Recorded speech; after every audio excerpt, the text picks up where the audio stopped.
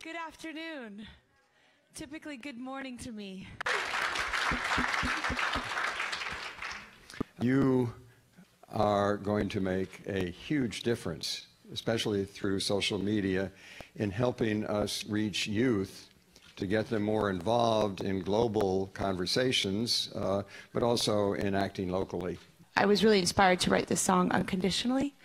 Uh, based on my experience in Madagascar and seeing these children um, just have the currency of love between them and exchanging that. So, um, you know, I really believe in UNICEF. I really believe that it's important for us as adults to look after children. Um, they are innocent. They deserve that innocence. And um, their happiness and their joy is pure and it should be maintained.